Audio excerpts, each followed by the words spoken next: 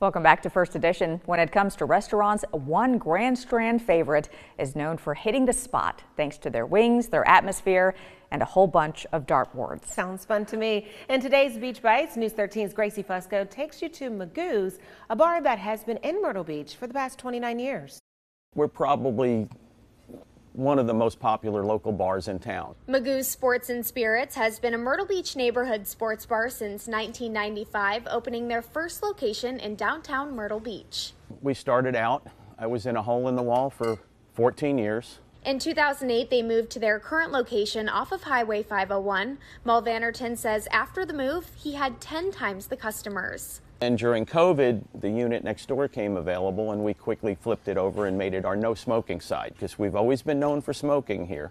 Magoo's is also known for having some of the best chicken wings in Myrtle Beach, offering 15 different flavors to choose from. And my wife coined the phrase famous for wings, and we have been ever since. We've won lots of contests.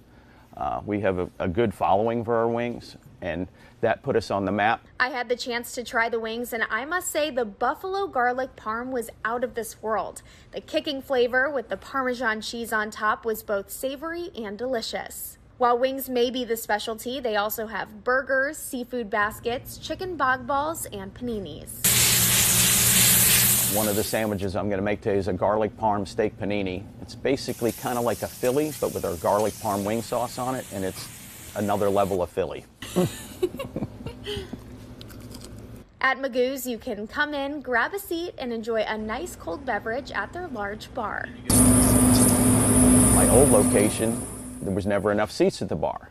So now I have the biggest sitting bar in Myrtle Beach. Now, you may be wondering where the name came from. I'll have Magoo himself tell you. I met my wife in 1989 after we started dating, I got the nickname Magoo. Then when it came to coming up with a name for the bar, I didn't do something again. She called out Magoo.